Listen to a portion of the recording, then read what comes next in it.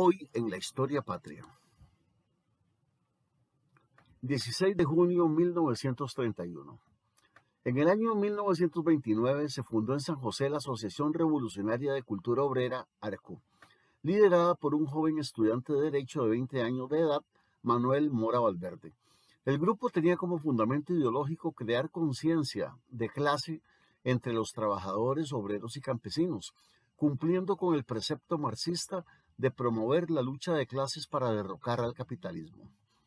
Arco no tuvo mucha aceptación en la sociedad costarricense, profundamente católica y creyente en el sistema liberal democrático. Pero dos años después, en un día como hoy, se fundó el Partido Comunista de Costa Rica, con el propósito de tener una proyección electoral en ámbito nacional. La época de gloria del Partido Comunista fue entre 1943 y 1948, perdiendo popularidad en las décadas posteriores a la Revolución del 48. Desapareció como organización a la muerte de Manuel Mora, ocurrida en 1994.